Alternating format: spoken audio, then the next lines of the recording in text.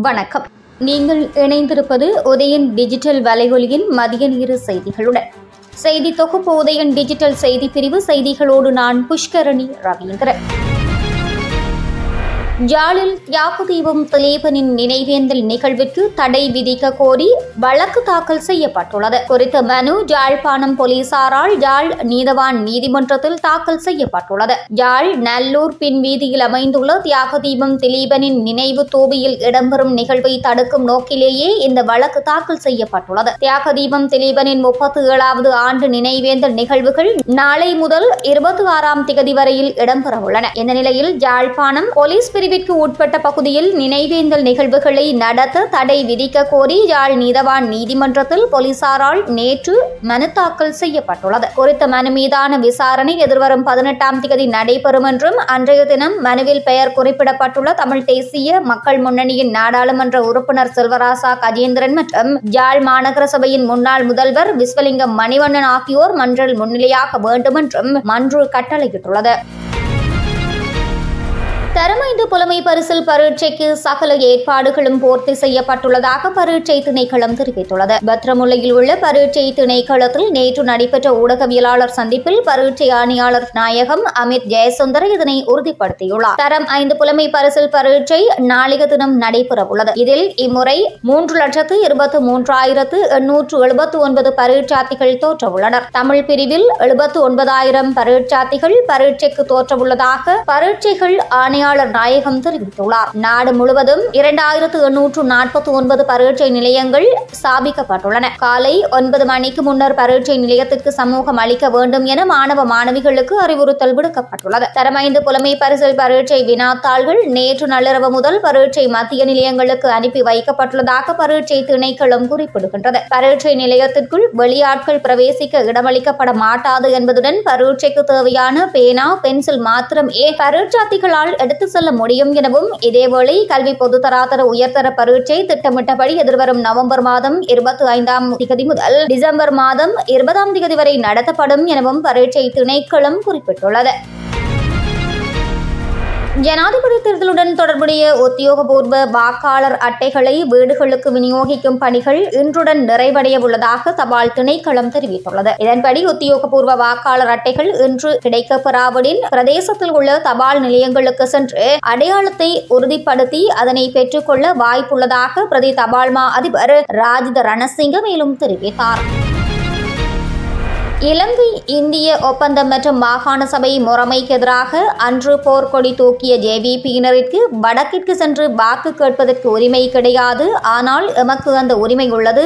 ஏனெனில் அனைத்து இன மக்களையும் அரவணைத்து கொண்டு பயணிக்கும் கட்சிதான் எமது கட்சியாகும் என்று ஐக்கிய மக்கள் சக்தியின் பொதுச் செயலாளர் ரஞ்சித் மத்தும பண்டாரு தெரிவித்தார். இது தொடர்பில் அவர் மேலும் தெரிவித்ததாவது பதிமூன்றாவது திருத்த சட்டம் கொண்டு வரப்பட்ட போது அதற்கு எதிராக மக்களை கொன்ற கட்சிதான் ஜேவிபி. மாகாண சபை தேர்தலில் போட்டியிட்டவர்களையும் ஜேவிபி கொன்றது. இந்திய மருந்துகளை கொண்டு வந்த அதிகாரிகளையும் இந்த கட்சி கொலை செய்தது. இந்திய பொருட்களை புறக்கணிக்குமாறும் அழைப்பு விடுத்தது. எனவே இந்த கட்சியினருக்கு வடக்கு சென்று வாக்கு கேட்கும் உரிமை கிடையாது. வடக்கு மக்கள் எதிர்பார்க்கும் அதிகார பகிர்வு மற்றும் அபிவிருத்திகளை செய்யக்கூடிய தலைவர் சஜித் பிரேமதாசதான் என்பதை அந்த பகுதி மக்கள் ஏற்றுக்கொண்டுள்ளனர். வடக்கில் உள்ள தமிழ் தலைவர்களின் பெரும்பாலானவர்கள் ஜனாதிபதி வேட்பாளர் சஜித் பிரேமதாசவிற்கு ஆதரவு தெரிவித்துள்ளனர். இதனை அவர்கள் வெளிப்படையாகவே அறிவித்துள்ளனர். அதேபோல் வடக்கு வடக்கு கிழக்கில் உள்ள தமிழ் மக்களும் சஜித்திற்கு பேராதரவு வழங்கும் நிலைப்பாட்டில் உள்ளனர். குறித்த பகுதிகளுக்கு சென்றபோது சஜித்துக்கு அமோக வரவேற்பு அளிக்கப்பட்டது என்றார்.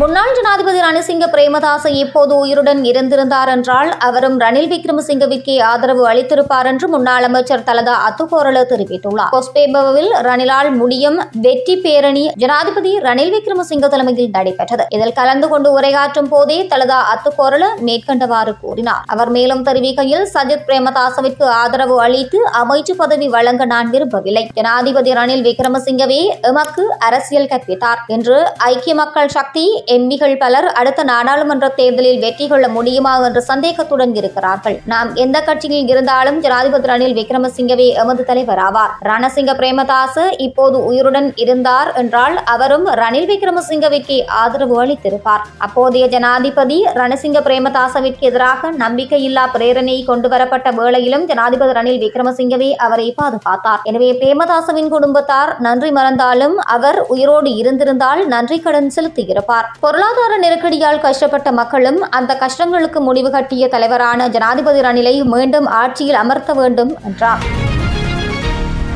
காஷ்மீர் மாநிலம் ஹிஷத்வாரில் உள்ள ஜத்ரு பகுதியில் பயங்கரவாதிகள் பாதுகாப்பு படையினரிடையே நடந்த துப்பாக்கிச் சண்டையில் இரண்டு ராணுவ வீரர்கள் வீரமரணம் அடைந்துள்ளனர் உயிரிழந்தவர்கள் விபன்குமார் மற்றும் அரவிந்த் சிங் என்று தெரிவிக்கப்படுகின்றது மேலும் காயமடைந்த இரண்டு வீரர்களுக்கு சிகிச்சை அளிக்கப்பட்டு வருகின்றது அப்பகுதியில் பாதுகாப்பு படையினர் தீவிர தேடுதல் வேட்டையில் ஈடுபட்டு வருகின்றனர். அந்த பகுதியை சுற்றி வளைத்து பயங்கரவாதிகளை பிடிக்க பாதுகாப்பு படையினர் களமிறங்கியுள்ளனர். அங்கு பயங்கரவாதிகளுடன் துப்பாக்கிச் சண்டை தொடர்ந்து வருகிறது கனடாவில் இறக்குமதி செய்யப்படும் எனோகி காளான் எனப்படும் காளான் வகையில் லிக்ஸ்டீரியா என்கின்ற அபாயகரமான பாக்டீரியா இருப்பதாக கனடாவின் சுகாதாரத்துறை மற்றும் கனடா உணவு பரிசோதனை அமைப்பு தெரிவித்துள்ளது. இவ்வாறு பாக்டீரியாவால் பாதிக்கப்பட்ட காளான்களை உட்கொள்வதால் ஏற்படும் அபாயங்கள் குறித்து கனேடிய மக்களுக்கு எச்சரிக்கை விடுக்கப்பட்டுள்ளது. இந்த காளான் வகைகள் ஆசிய உணவுகளில் பெரும்பாலும் பயன்படுத்தப்படுவதாக இருந்தாலும் சில சமயங்களில் அவை பச்சையாக உண்ணப்படுவதால் நோய்கள் பரவுவதற்கான அபாயம் ஏற்படுகிறது. எனோகி காளான் வகை தென்கொரியா மற்றும் சீனாவில் இருந்து இறக்குமதி செய்யப்படுவதாக தெரிவிக்கப்படுகிறது. கர்ப்பிணி பெண்கள் முதியவர்கள் மற்றும் குறைந்த நோய் எதிர்ப்பு சக்தி உள்ளவர்கள் இந்த பாக்டீரியாவால் பாதிக்கப்படலாம் எனவும் எச்சரிக்கை விடுக்கப்பட்டுள்ளது. இந்தியாவில் இடம்பெற்று வரும் யூ இருபது தெற்காசிய தடகள சாம்பியன்ஷிப் போட்டிகளில் இலங்கை இதுவரையில் ஒன்பது தங்க பதக்கங்களை வென்றுள்ளது. போட்டி பட்டியலில் இருபத்தோரு தங்கம் இருபத்தி இரண்டு வெள்ளி மற்றும் ஐந்து வெண்கல பதக்கங்களை வென்று இந்தியா முதலிடத்தில் உள்ளது. அத்துடன் ஒன்பது தங்கம் ஒன்பது வெள்ளி மற்றும் ஐந்து வெண்கல பதக்கங்கள் அடங்கலாக முப்பத்து ஐந்து பதக்கங்களை பெற்றுள்ள இலங்கை இரண்டாவது இடத்தில் உள்ளமை குறிப்பிடத்தக்கது. இத்துடன் உதயன் டிஜிட்டல் வலையொலியின் மதிய நேர செய்திகள் நிறைவடைகின்றன. உடனுக்குடன் செய்திகளை அறிந்து கொள்ள உதயன் டிஜிட்டல் வலையொலி பக்கத்தோடு இணைந்திருங்கள். வணக்கம்.